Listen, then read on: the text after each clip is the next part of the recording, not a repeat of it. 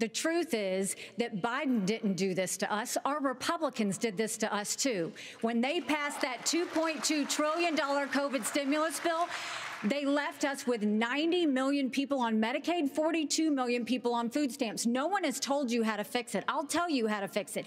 They need to stop the spending. They need to stop the borrowing. They need to eliminate the earmarks that the Republicans brought back in.